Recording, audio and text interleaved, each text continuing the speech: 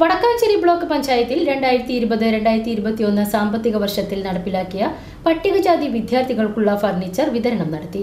പത്താം ക്ലാസ് മുതൽ P G തലം വരെയുള്ള വിദ്യാർത്ഥികൾക്കാണ് ഫർണിച്ചർ വിതരണം ചെയ്യുന്നത്. Vadakkanchery block panchayat president K V Nafeesa വിതരണോദ്ഘാടനം നിർവഹിച്ചു.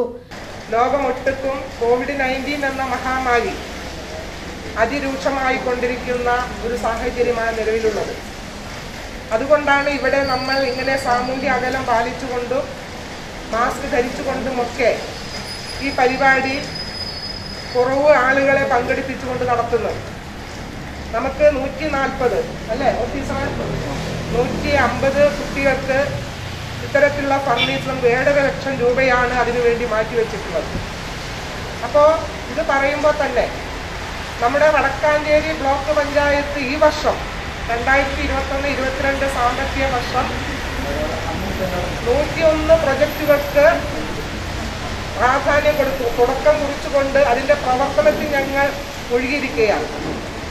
Vice president C V Sunilkumar അധ്യക്ഷത വഹിച്ചു.